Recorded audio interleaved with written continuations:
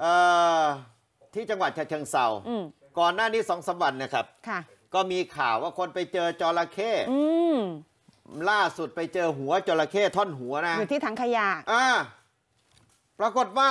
ล่าสุดอีกครับอืมพระท่านฝัน ฝันว่าเห็นจระเข้แต่มันเป็นความจริงอะ ฝันที่เป็นจริงอะคุณรัชนี เห็นจริงเออ คือเมื่อวานเนี่ยตอนสองทุ่มกว่าๆค่ะๆ หน่วยกู้ภัยฉะเชิงเซาครับ เขาได้รับแจ้งจากพระธนโรธคล่องแคล่ว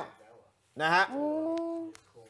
อายุ 21 ปีครับ เป็นพระลูกวัดอืมสมขาวเจริญราชศรัทธาธรรม นี่ อยู่จังหวัดฉะเชิงเซาอำเภอบางปะกงครับเห็นไหมท่านถือท่านหิ้วเอ้ยเรียกว่าอะไรดีจับอ่าจับจระเข้จะสังเกตผ้าที่คลุมจระเข้นะคะอ่าใช้ผ้าจีวร คลุมหานะที่ครับหาได้ตอนนั้นเลยนะ เรื่องของเรื่องก็คือว่าท่านโทรศัพท์แจ้งกู้ภัยฮัลโหลกู้ภัยเหรออืมอาตมาจับจระเข้ได้สามตัวนะฮะโอ้โหเก่งจังหลวงพ่อเก่งจังเลยหลวงพี่หลวงพี่เออหลวงพี่อืมจับจระเข้ได้สามตัว ก็อยากจะให้กู้ภัยลงมาดูหน่อย ว่ามันจระเข้หรือตัวอะไร อืมความจริงท่านรู้อยู่แล้ว ว่าเป็นจระเข้นะครับ กู้ภัยไปก็ก็ไปเจอนะฮะว่าท่านจับมาสามตัวตัวไม่ใหญ่แล้วครับค่ะ ปรากฏว่าสองตัวตายเอ้ยเอ้ยสองตัวเป็นอยู่ ยังมีชีวิตแต่ว่าหนึ่งตัวตาย ความยาวก็ประมาณ 50-80 เซนนี่แหละครับนะตอนนี้สอบถามท่านก็เล่าให้ฟัง บอกว่า ท่านฝันอืมในฝันเนี่ย เห็นจระเข้มากมายว่ายวนเวียนอยู่ใต้หอฉันว่างั้นนะอืมหอฉันเนี่ยมันเป็นหอฉันร้างมันมันฝันแบบเนี้ยตั้งสามวันซ้อนๆนะค่ะ ตอนนี้ท่านก็เดินไปจะเข้าห้องน้ำปรากฏว่าได้ยินเสียงจระเข้ร้อง มันร้องยังไงอะจระเฮ้ยเข้จระเข้ร้องได้ด้วยเหรอ มันต้องมีเพราะว่ามันมีอยู่อำเภอหนึ่งชื่อว่าอำเภอจระเข้ร้องหรืออะไรอะนะอยู่อยู่จังหวัดอะไรนะจระเข้ร้องอะเดี๋ยวเดี๋ยวต้องค้นเขามีอยู่จังหวัดอะไรอะอ่าเอ้ยคุณก็ช่างสังเกตนะอ้าวว่าผไปมอำเคยเภได้อยินนี้ไอ้ยผมเคยเห็นเอ๊ะบ้านจระเข้ร้องหรือตำบลจระเข้ร้องเนี่ย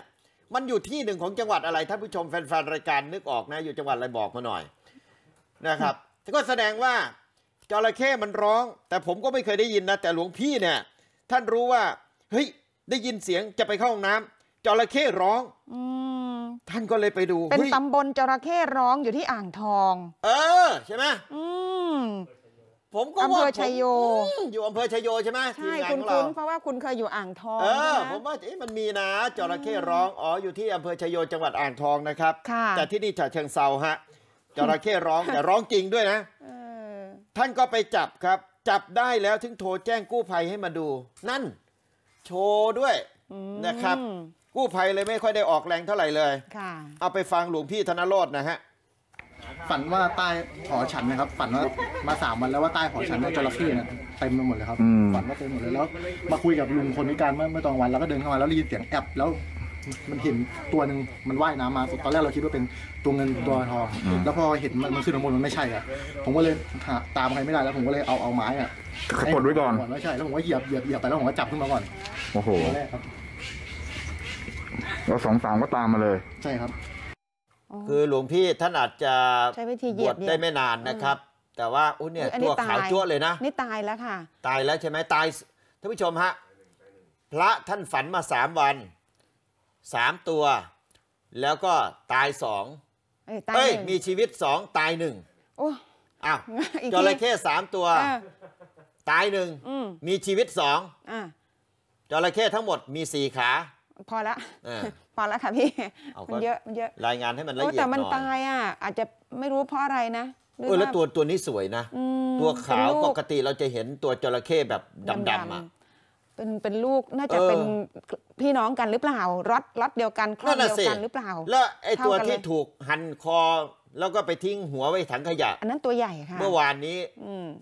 เกี่ยวพันอะไรกันไหมกับกลุ่มอืมจระเข้กลุ่มนี้ ใช่เป็นแล้วญาติก่อนไหมหน้านั้นมีจระเข้ไปกัดขาคุณยายท่านหนึ่งที่ไปเออหางมกุ้งอะฉะเชิงเซาเหมือนกันนี่เออนี่ท่าทางมันจะเยอะนะเนี่ย บางคล้านะคะ ก็อาจจะต้องแจ้ง